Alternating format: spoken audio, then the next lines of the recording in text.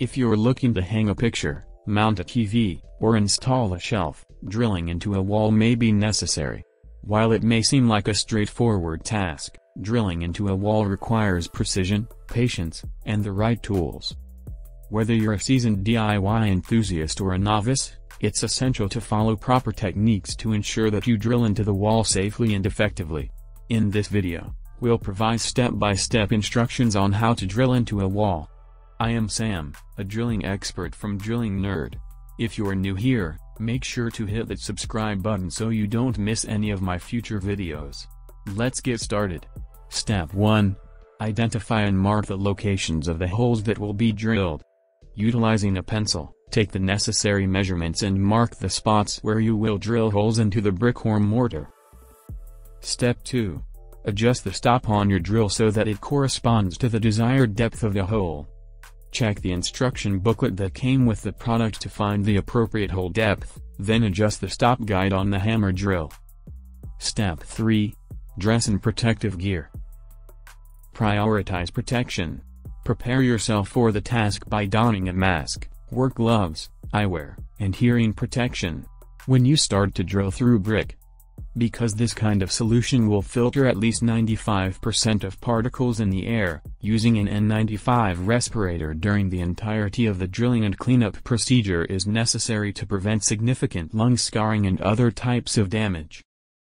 If you're going to be utilizing a ladder, check that it's level and that its legs are resting on something stable.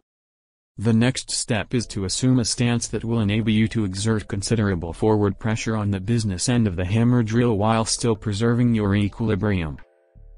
Step 4. Put the pilot drill bit in a perpendicular angle to the wall and drill gently. The hammer drill requires the pilot drill bit to be inserted. Get the drill going slowly and use both hands to grasp the pistol grip and the supplemental handle. Begin drilling the pilot hole by applying the minimum force necessary to get the drill bit started. Step 5. Insert a more significant masonry bit into the pilot hole you established in the step before this one, and continue drilling into the hole. Make the switch to the more significant bit. Once more, check to see that the drill is level and perpendicular before inserting the drill bit into the pilot hole and continuing to drill until you have reached the desired depth. Step 6. Clean out the drilled hole using compressed air. Utilizing compressed air, clear the hole of any residues of dust containing brick or mortar. If you leave dust in the spot, the screws and wall anchors you insert will reduce the ability to keep the wall in place. Step 7. Install the wall anchor. Wall anchors intended to support the entire weight of the object should be installed, and screws should be used to mount the wall hanging or outside fixture. Step 8. Meticulously clean up the workspace. Clean up any big mortar or brick chips using a broom and dustpan while keeping your eye protection and mask on at all times.